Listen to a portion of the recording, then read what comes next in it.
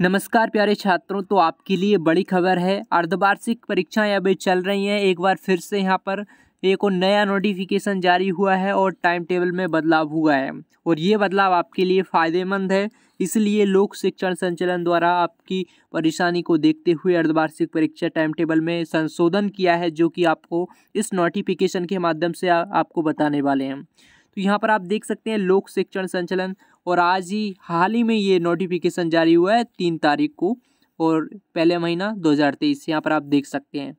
तो क्या बदलाव हुआ है? चलिए हम विस्तार से इस नोटिफिकेशन को पढ़ लेते हैं, लेकिन अगर आप हमारे चैनल पर नए हो तो इसी प्रकार लेटेस्ट अपडेट पाने के लिए इस चैनल को सब्सक्राइब करके बेल आइकन को ऑल पर करके प्रेस कर लीजिएगा। साथ में आप अगर इस वीडियो को लाइक अवश्य कर दीजिएगा। तो यहाँ पर आप देख सकते हैं, विजय में शैक्षणिक सत्र दो हज़ार बाईस, तेईस की कक्षा नबी से बारहवीं की अर्ध पर, अर्धवार्षिक परीक्षा के संशोधन समय सारणी जारी करने के संबंध में।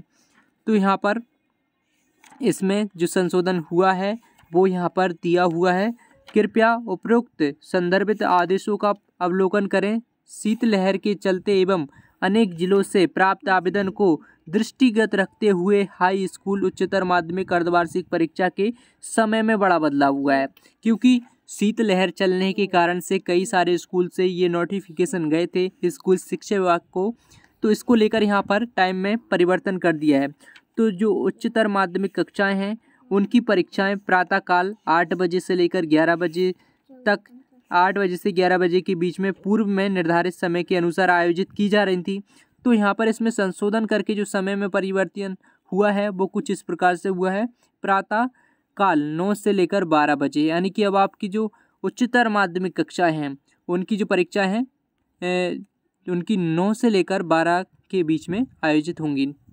और इसके बाद में जो हाई स्कूल की परीक्षाएँ हैं, यानी कि जिनका परीक्षा का समय प्रातःकाल ग्यारह पंद्रह से अपरांत सॉरी, दो बज के पंद्रह मिनट तक था तो उनकी परीक्षा का जो समय है, वो परिवर्तित होकर दोपहर एक बजे से अपराह्न चार बजे कर दिया गया है।